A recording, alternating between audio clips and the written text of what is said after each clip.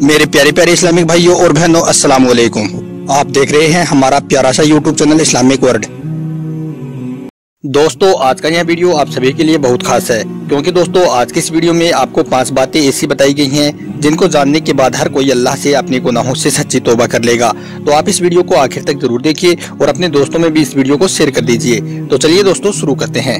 दोस्तों, एक शख्स हज़रत इब्राहिम रहमतुल्लाह की खिदमत में हाजिर होकर अर्ज़ करने लगा ए अबू इसहाक, मैंने अपने आप पर बहुत जुल्म किया है। मुझे कोई ऐसी बात बताएँ जो मेरे दिल पर असर करे और मैं अपने गुनाहों से बाज आ जाऊँ।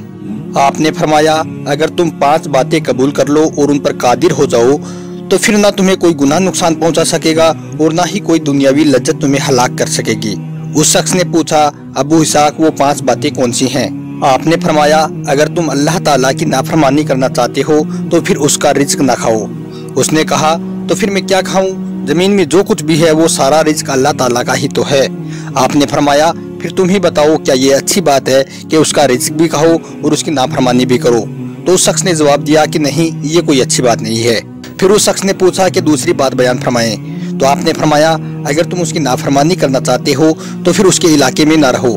तो उसने जवाब दिया, ये तो पहले से भी ज़्यादा मुश्किल बात है। मशरक व मगरब और उनके दरमियान का सारा इलाका अल्लाह ताला का ही तो है। फिर मैं कहाँ रह सकता हूँ? तो आपने फरमाया, क्या ये अच्छी बात है कि रिस्क भी उसी का खाओ, उसी के इलाके में रहो और फिर उसकी नाफरमानी भी करो? तो उस शख्स ने जवाब दिया, नहीं, ये कोई अच्छी बात नहीं है। फिर उसने कहा कि, तीसरी बात फरमाइए।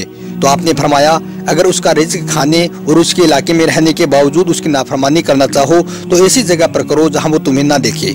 तो उसने जवाब दिया इब्राहिम, ये कैसे मुमकिन है? वो तमाम खुफिया और पोशीदा बातों को जानने वाला है। उससे कोई इंसान किसी तरह छुप नहीं सकता है। तो आपने फरमाया तो क्या ये अच्छी बात है कि रिस्क भी उसी का खाओ, रहो भी उसी के इलाके में? और जब तुम नाफरमानी करो तो वो तुम्हें देख भी रहा हो। तो उसने कहा, नहीं, ये कोई अच्छी बात नहीं है। फिर उसने पूछा कि, अब आप चौथी बात फरमाइए। तो आपने फरमाया जब तुम्हारी रूह कब्ज करने के लिए मलकुल मौत तुम्हारे पास आए तो उससे कहो कि मुझे थोड़ी सी मोहलत दे दो, ताकि मैं सच्ची तोबा कर लूँ और कुछ नेक अमल कर लूँ। तो क्या वो तुम्हें मोहलत देगी? उसने जवाब दिया, हरगिज नहीं। तो आपने फरमाया, जब तुम्हें इस बात की कुदरत नहीं है कि मलकुल मौत को टाल कर तोबा कर लो, और तुम खूब जानते हो कि आई हुई मौत को हरगिज टाला नहीं जा सकता है तो फिर नजात कैसे मुमकिन है? फिर उसने पूछा कि, अब आप पांचवी बात फरमाइए। तो आपने फरमाया, जब कयामत के दिन दोजक के फरिश्ते तुम्हारे पास आए और तुम्हें घसीट कर दोजक में ले जाए तो क्या तुम उनके साथ जाने से इनकार कर सकोगे? तो उसने जवाब दिया, नहीं, वो मुझे नहीं छोड़ेंगे। मेरी कोई माजरत नहीं कबूल करेंगे। तो आपने फरमाया, फिर नजात की उम्मीद कैसे कर सकते हो? तो उस शख्स ने कहा कि, इब्राहिम, बस ये बात व नसीहत ही मेरे लिए काफ़ी है। मैं अल्लाह ताला के सामने सच्चे दिल से तोबा व इस्तफार करता हूँ। फिर उसने आपकी सोहबत व रफाकत को इख्तियार कर लिया और बाकी सारी ज़िंदगी आपके साथ मिलकर अल्लाह ताला की इबादत व रजाबंदी में बसर की, यहाँ तक कि मौत ही ने दोनों को एक दूसरे से जुदा किया। दोस्तों, इसका हवाला है किताबुल तवाबिन इब्न कदामा अलमुकदसी सफ़ा नंबर दो सौ सत्तासी दो सौ अट्ठासी। दोस्तों, वीडियो बनाना मेरा काम था, सो मैंने कर दिया। अब इसको फैलाना आपकी ज़िम्मेदारी है। आप इस वीडियो को मेहरबानी करके ज़्यादा से ज़्यादा शेयर करें ताकि यह वीडियो ज़्यादा से ज़्यादा लोगों में फैल सके।